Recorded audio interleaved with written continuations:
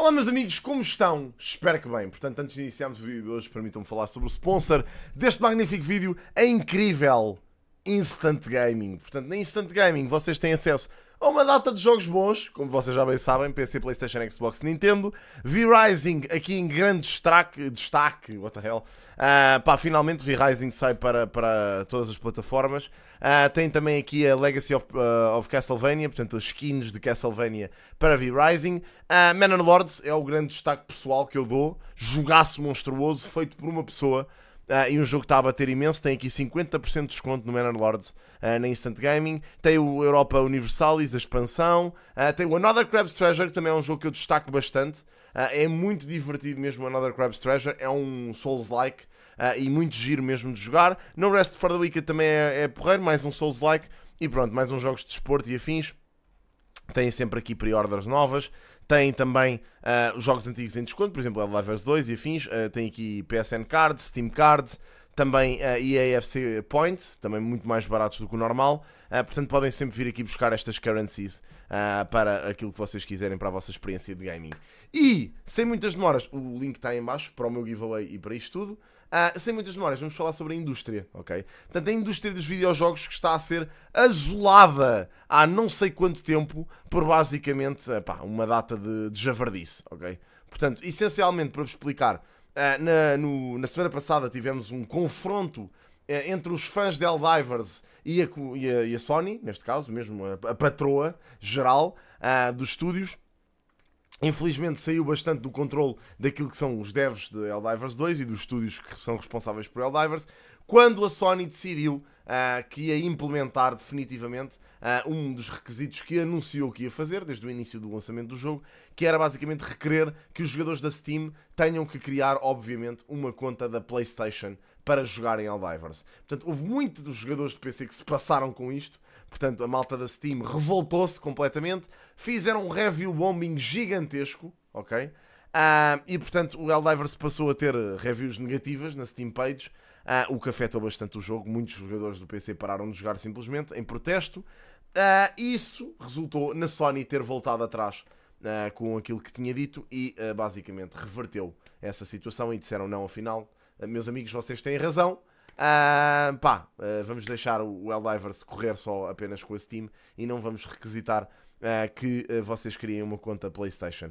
O que é que sucede? houve muita gente a revoltar, aliás, houve gente a revoltar-se com ambas as coisas. Portanto, houve gente a revoltar-se com esta situação ia deixar de jogar Helldivers, ia irem para as redes sociais, fazer um alarido gigante, uh, o que é perceptível, até porque a PlayStation, uh, as contas Sony, como vocês sabem, tiveram expostas a um data leak gigantesco, portanto as pessoas não queriam ter que criar uma conta PSN uh, para, para basicamente colocarem lá os seus dados e eles depois eventualmente puderem ser expostos outra vez. Uh, mas também houve certos países em que as contas PlayStation não estão disponíveis uh, e, como tal, isso ia bloquear o Helldivers nessas, nesses países e impedir que essas pessoas pudessem jogar Helldivers 2. Portanto, houve muita gente a revoltar-se com este sistema e, bem, na minha opinião, e fizeram a Sony reverter uma decisão original que pôde afetar muitos jogadores. Portanto, houve quem alegasse que isto era um problema normal, que não tinha problema absolutamente nenhum, que há outros jogos que usam esse sistema, por exemplo o Sea of Thieves e outros uh, que são de outras, de outras marcas, que não a Sony, da Xbox, por exemplo. Uh, e havia muita malta que dizia, pá, só uma porra de uma conta, é criar uma conta não tem problema nenhum, mas este sistema tinha uh, outros problemas agarrados a ele e como tal eu acho que foi uma boa coisa ele ter sido revertido, ok? Portanto, vitória para os jogadores de Helldivers, democracia entregue novamente à comunidade, uh, não deixa de, uh, de, ser uma mancha uh, que aconteceu no passado, não é verdade? E portanto vai assombrar com certeza não só os estúdios de Helldivers, da malta, os, os community managers que foram basicamente insultados e receberam ameaças de morte e tudo mais, que eu também acho que é completamente disparatado, ok? Despropositado. Uh, estamos a falar de um, de um videojogo, por amor de Deus. Uh, mas, mas pronto, mas toda a imagem da Sony foi muito afetada com este, com esta, com esta medida. Conclusão, uh, houve inclusivamente um community manager de Livers que foi despedido. Uh, e isso aconteceu porque ele basicamente incentivou a própria comunidade no Discord a fazer, a fazer o tal review bombing, ou seja, a, criarem reviews negativas para uh, criar impacto para a Sony os libertar. Epá, e foi despedido, e na minha opinião, em justa casa. Okay? Uh, um deve estar a, a, prejudicar o próprio jogo para prejudicar a própria empresa que lhe dá trabalho. Epá, é um bocado acho que é um bocado agressivo, portanto, por muito que ele tivesse razão, pá, é, é só ser profissional, ok? Não há aqui grandes questões. Portanto, acabou por ser despedido. Desta vez, durante esta semana, Uh, basicamente uh, a Xbox decide: não, não, não pode ser só a Sony a ter um destaque negativo. Portanto, vamos só fazer merda também. E portanto, a Microsoft encerrou o Arkane Austin, o estúdio Arkane Austin, uh, responsável por Redfall. Foi um desastre autêntico, uma mancha negra na história da Xbox. e com isso, basicamente voltando atrás na sua palavra de continuar a dar updates para aquele jogo, no fundo, cancelaram só o projeto. O jogo continua ativo, mas o estúdio foi abaixo.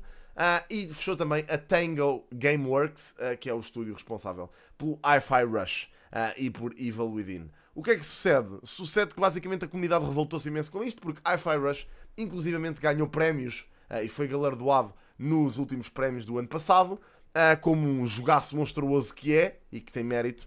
e portanto a Tango, a Tango Gameworks faz um ótimo trabalho e é fechada na mesma pela Microsoft por contenções de custo, ok? Pá, muito mal esta situação. Aliás, a indústria tem estado toda a sofrer desde o ano passado com despedimentos. O ano passado foram despedidas mais de 10 mil pessoas. Uh, este ano já vão em, uh, em 9.400. Portanto, uh, a indústria está em falência, na verdade. Uh, portanto, temos com graves problemas e, portanto, este é mais um exemplo. Portanto, a comunidade revoltou-se um bocado com esta, com esta decisão, até porque a Tango Gameworks, como é lógico, tem apresentado resultados benéficos para a empresa e não considero que tenha sido a Tango Gameworks responsável por estes problemas que a Xbox enfrenta, mas eles não podem fechar os estúdios que têm dado prejuízo porque são demasiado grandes, como o caso da Bethesda e afins, uh, e, portanto, vão fechar os mais pequenos, como é lógico. Uh, eu adorei uma interação que vi no Twitter de uma pessoa que disse que alguém tinha, em consequência desta decisão da Xbox, mandou um nuke, ah, uma bomba nuclear no jogo Fallout 76 no acampamento do Phil Spencer, que é o CEO da, da, da, da Xbox, ah, e rebentaram-lhe com o acampamento todo. Ah, e cá embaixo a pessoa veio cá basicamente publicar o vídeo dela a explodir com o acampamento do Phil Spencer. Portanto, basicamente foi tudo abaixo. Uh, isto porque a pessoa encontrou aqui o Phil, o Phil Spencer P3 uh, ah, aqui dentro do jogo. Uh, portanto, e provou que basicamente foi ele o responsável por ter destruído o acampamento do Phil Spencer, ok? Pá, muito interessante esta interação, até porque isto são os gamers a revoltarem-se contra o próprio CEO da empresa. Pá, não desvalorizando que o Phil Spencer até aparenta ser um gajo porreiro e continua a ser um gamer, portanto joga Fallout 76, efetivamente. Um, epá, e pronto, mas enfim, é, é, é uma, boa, uma boa comeback da player base uh, para manifestar claramente o desagrado que, te, uh, que teve uh, em o Phil Spencer fechar o, o Tango Gameworks. Até porque, pá, é assim, claramente isto não é uma decisão única do Phil Spencer, mas a responsabilidade cai diretamente sobre ele, portanto. É nisso que, que, refletimos. E pronto, é isto, malta. Pá, a indústria está um bocado prejudicada com tudo isto, como vocês sabem. Não sei se, se, pronto, claramente tem a ver com o cenário mundial, como é lógico. Mas, mas, mas pronto, mas enfim, vamos assistir com alguma preocupação, ah, até porque este ano tem sido um ano que não tem saído assim grande coisa. Vai sair agora o Hellblade e houve muitos fãs da Xbox que criticaram isto. Vai sair o Hellblade 2 agora muito em breve, daqui a poucos dias, ah, e basicamente não houve uma única promoção ao Hellblade uh, por parte da Xbox. Houve uma imagem que foi tweetada pela conta da Xbox que há dias e que levou um hate descomunal porque é uma imagem que já toda a gente viu e basicamente é, revela uma falta de, de, de afinco na promoção deste jogo, que é um jogaço monstruoso. Uh, e pronto, e portanto a Xbox não tem estado muito, muito aplicada a, a, dar, a fazer marketing aos seus jogos este ano, mas pronto, até agora não houve assim jogaços que fossem, pronto, que ficassem na memória, como aconteceu o ano passado. Foi um, jogo, foi um ano muito bom para os videojogos. Uh, este ano está a ser um bocadinho mais slow season, mas pronto, vamos ver uh, como, é que, como é que a indústria se traduz. Se quiserem comprar os poucos jogos bons que saíram este ano, já sabem, tem Instant Gaming que oferece os jogos a um preço muito, muito bom. Portanto, tem o link aí em baixo. E é isto, amigos. Obrigadíssimo. Vejo-vos no próximo. Grande abraço. Tchau, tchau. Pá, beijinhos.